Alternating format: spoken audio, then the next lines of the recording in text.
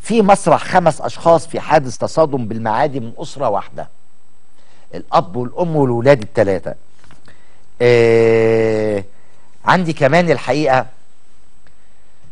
بدأت قضية تحرش تظهر وبدأت عاملة يعني شغل على وسائل التواصل الاجتماعي. آه مجموعة من الفتيات في مدينة الإسكندرية اتهمت طبيب نفسي اسمه ميم فه أنا اسمه عندي بالتحرش.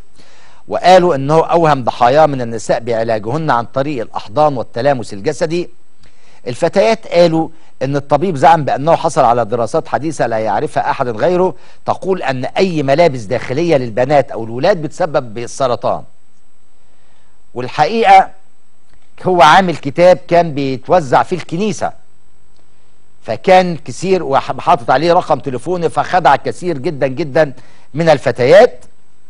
آه يعني كتير من البنات سردت العديد من قصتهن مع هذا الطبيب النفسي واتهمن اياه بالتحرش بهم خلال علاجهن داخل العيادة. البعض أكد أنه طلبهن بالخروج معه للتنزه بزعم العلاج النفسي.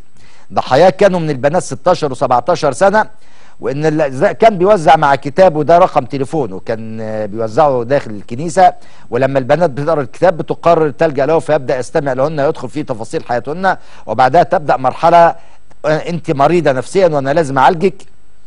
والغريبة جدا إنه كان بيقوم بعلاج ضحاياه بواسطة جلسات تتضمن تحرش فج واعتداءات جنسية وربما واحيانا زي ما بيقولوا كان بيقيم علاقات مع البنت وأمها. عندي معلومات كثيرة جدا وعندي اسمه وعندي حاجات كثيرة جدا بس مبدئيا يعني لازم يبقى في حد للمسألة دي.